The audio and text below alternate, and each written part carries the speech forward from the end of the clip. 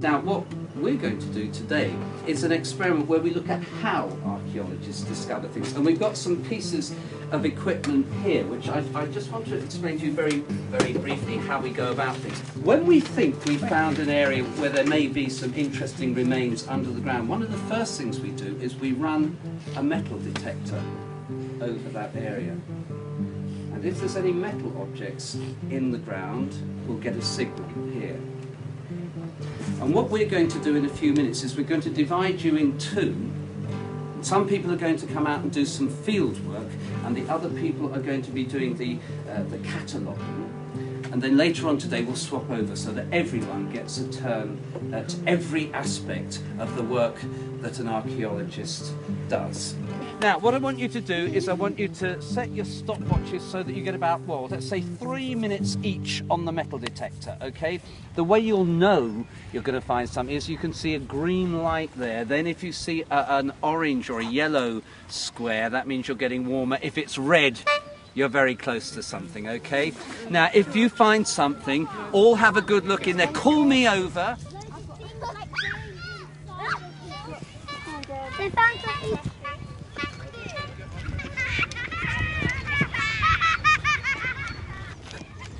It's a can! False alarm! Oh, well, make a note of it anyway. What have you found? Well done. It looks like a wheel of some sort, doesn't it? Those are spokes. wheel? Yeah, we that's a wheel. Yeah. We found some. Yeah, well This done, other way! We found the wheel! Well done. Very done here! Yeah, we found a brooch! You've got a brooch. Nails! Nails! Very mysterious! Over here we got something, it's nails! We've got nails! yeah, we found three and another three nails, one coin, a, wheel, and something we don't know. And a ring, with a ruby in the middle and coins. I think those could actually be quite ancient things. It didn't look all detailed like the ones we have now. It didn't have all those swirly bits. It was just a plain ring with a red ruby in the middle. This is what we call geophys.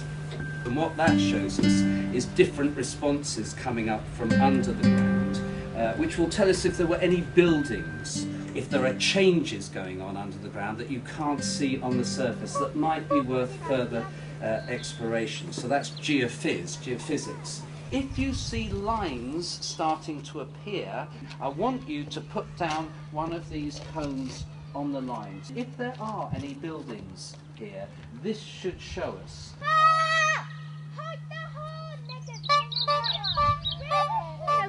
You found another line now. Where's this one? Oh, well done, well done. It says go over where the hills are. Look, just over there. So we need to be going over there. That looks to me very clearly like the outline of a building. That is a very large wall there. When we look at the pattern that the cones make, we may find a building. If it's a Roman building, as you think, it will be a building of straight lines. It We've got to put all your results together and we've come up with this. What we think is under there. flight of stairs, almost definitely, isn't it, there?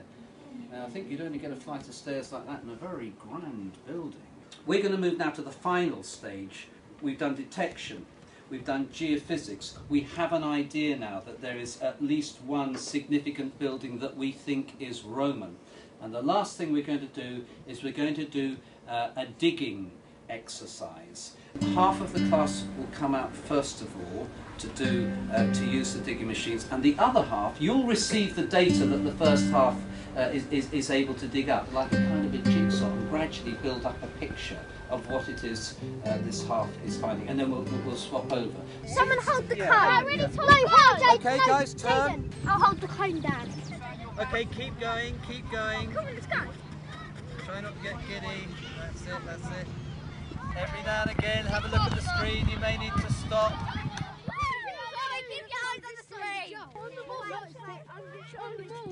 Stop. I'm good. Found something. Where is it? Over here. Oh, that's extraordinary. That's a Roman arch, without question. The Romans were the first people to, to construct arches like that. If you, Why do you think it might have been a temple? You think? Because we haven't got all of it, have we? These are just the ruins. The arch, the archways.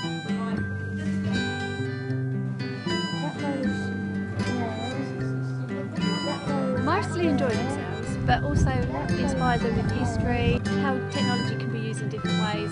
Children that perhaps not so into the curriculum, not so engaged, have been completely into it today, answering questions, helping each other out. A little bit like uh, a Roman forum or something. Oh, possibly. Found anything? Oh, oh, whoa! Whoa! Whoa! It's halfway. But I mean, they've just had a great day. Very happy kids. Yeah, very tired. Hopefully they'll all sleep well tonight. That's probably where in front of the house, and that's probably the house there. Right, I just want to look at it. Tractor. I'm saying it's got to look at this. Yes! The noise! Temple. Temple. The